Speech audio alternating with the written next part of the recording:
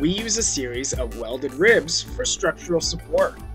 100 gauge machine formed longitudinal ribs are welded 6 inches on each side of the center keel. These run up to the bow, giving strength to the entire bottom.